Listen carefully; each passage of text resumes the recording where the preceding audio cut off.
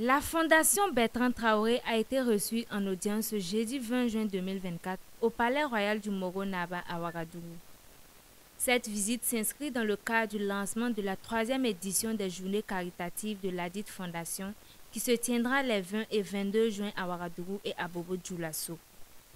Reçue par le Moro Naba, la délégation dit être venue présenter le programme de l'édition 2024 de cette journée mais aussi convier le chef des Mossé à cet événement. Euh, on dit euh, c'est une procédure euh, tout à fait normale. On est, on est en Afrique, on est, on est burkinabé. Je pense avant toute chose, il faut d'abord de, la bénédiction.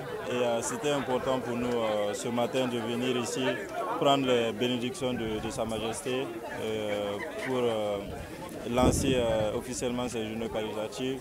Et euh, ces choses faites et aussi euh, venir lui dire merci, on l'a déjà fait, mais c'était important aussi de lui dire merci officiellement parce que Sa Majesté nous a apporté son soutien lors des précédentes journées caritatives, c'est-à-dire l'année dernière, il a même envoyé une enveloppe et un représentant.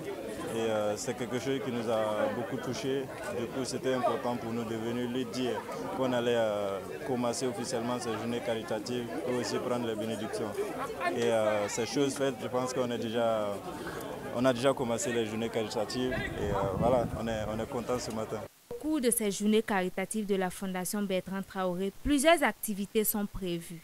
Qu'est-ce qui a été fait? On était censé commencer ce matin, et, mais vu l'emploi du temps du, du ministre de l'Action sociale.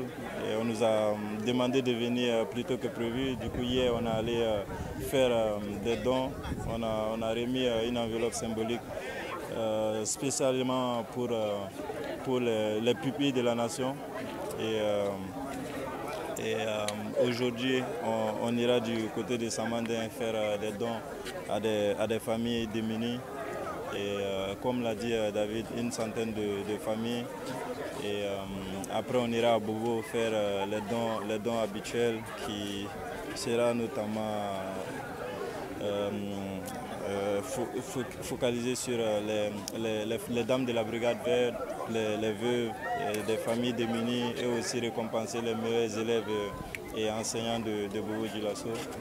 Et après, pour tout couronner, il y aura le match, le match de gala au Stade Obi. À l'issue de la visite, L'international burkinabé Bertrand Traoré a présenté le trophée du prix spécial Nufu Wedaogo de la solidarité, décerné à sa fondation lors de la soirée de l'étalon d'or le 13 juin dernier.